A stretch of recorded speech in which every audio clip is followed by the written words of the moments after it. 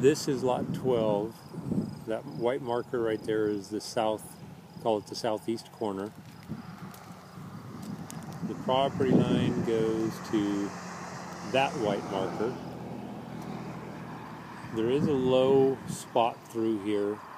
I don't think it's a significant low spot, but there is a drainage area that would have to be worked around.